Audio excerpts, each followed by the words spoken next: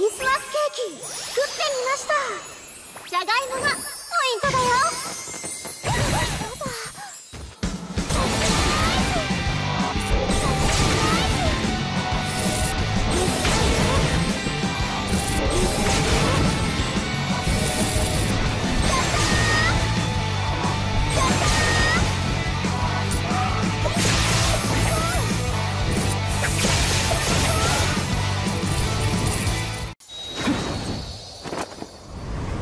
そこで待ってろ。メリークリスマス。ちょっとちこっちおかしいおかし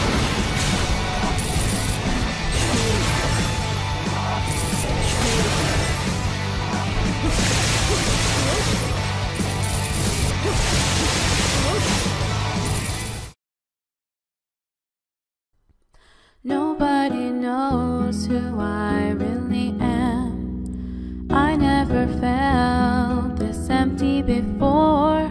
And if I